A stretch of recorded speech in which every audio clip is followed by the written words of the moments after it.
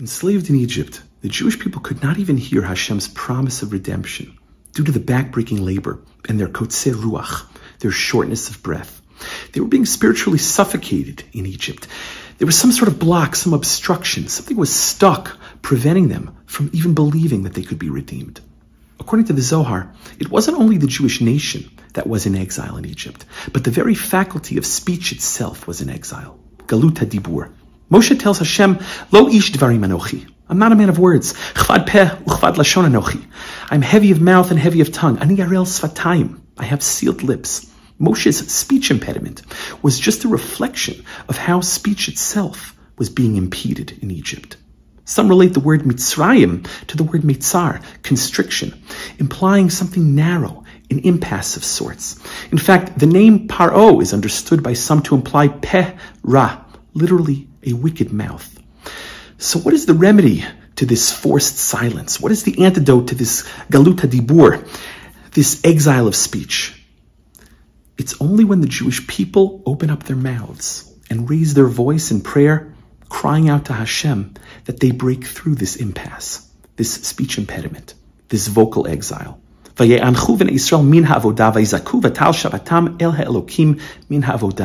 children of Israel groaned and cried out, and their cry rose up to Hashem from their labor, their work. Et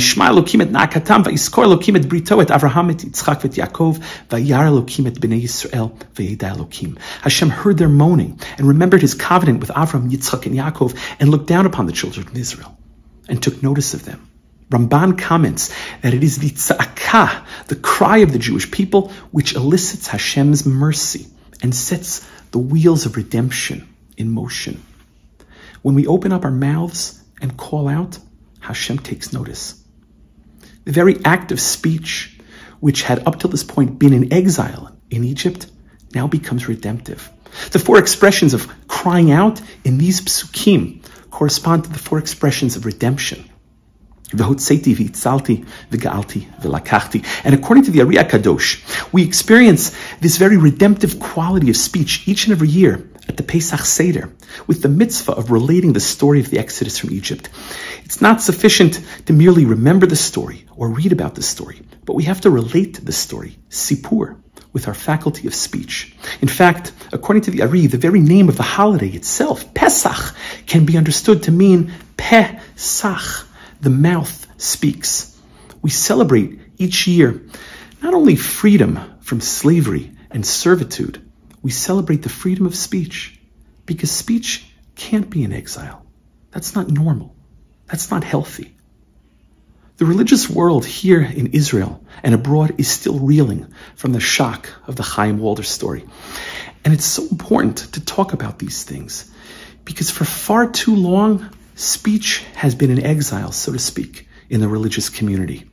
Abuse simply wasn't discussed, whether it was because it's too unpleasant or out of concern for creating a Chilul Hashem, a Shanda. Things were swept under the rug.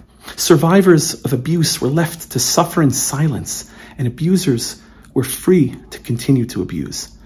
Baruch Hashem, in recent years, we've seen an increase in awareness in the frum world about abuse. But unfortunately, it's episodes like this which wake us up to the fact that there is so much more work that needs to be done. By speaking about abuse, we empower survivors to come forward, giving them a voice, allowing them to share their story and begin to heal. By speaking about abuse, we create awareness in our community and can educate our children about how to protect themselves. In Egypt, breaking the silence leads to redemption. Today, too, breaking the silence leads to redemption. Shabbat Shalom from Jerusalem.